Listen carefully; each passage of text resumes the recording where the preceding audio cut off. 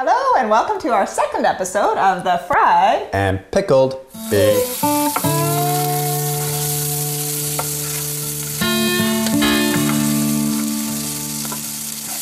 Today on the menu, mango turmeric cupcakes that are raw, vegan, and grain free.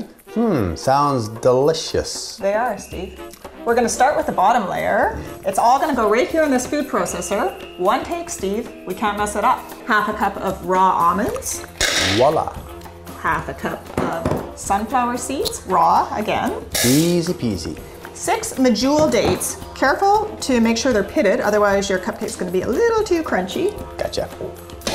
One tablespoon of coconut oil, All right. quarter teaspoon true cinnamon, and a quarter teaspoon of Himalayan pink salt. Mm, a nice. great source of electrolytes, by the way. Perfect. All right, that's all there is to it. We're gonna Now pop the lid on and we're gonna puree it up. I can do that. The mixture is nicely pureed here.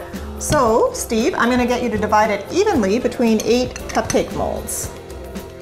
Well, it's pretty firm. This is some serious pressure. We're going to take these cupcake molds and set them aside. Now for our top layer, back to our food processor and a small melting pot. We're gonna start with taking one cup of coconut manna, which is really the whole coconut pureed, unlike coconut oil, which is just the fat. Throw that guy in. Two tablespoons of coconut oil. Did you wash your hands? And two tablespoons of dark maple syrup.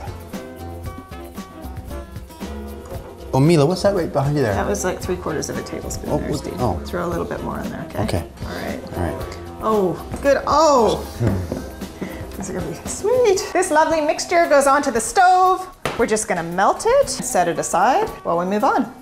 Steve's working on the final stage here. Going to squeeze the juice out of one lime, two teaspoons of fresh turmeric, a fantastic anti-inflammatory and antioxidant. Grate one tablespoon of fresh ginger, chop one large mango. Great to incorporate a mango, they're delicious this time of year.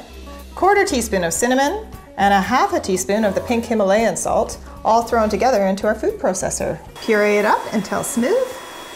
This vibrant mixture now gets stirred into. That stuff. Take this beautiful stovetop mixture and create our top layer. Easy peasy.